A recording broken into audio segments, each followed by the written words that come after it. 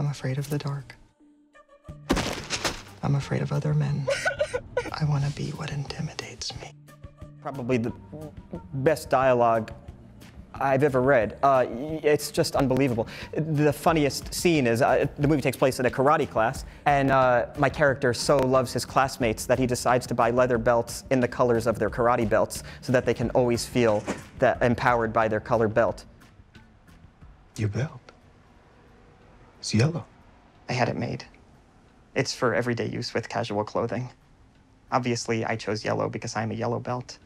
I wanted to wear my yellow belt all the time, but I knew it would look strange. This, this character I play is, is such a child and has such sweet, pure intentions. And that's what's so funny about it, because this has this added layer of, of this character doing something that um, is so sweetly desperate to be, you know, included. I even had to make a black one for you. I think it turned out quite nice.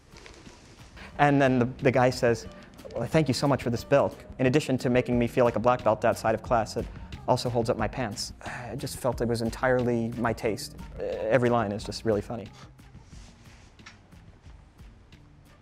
I don't know what to say.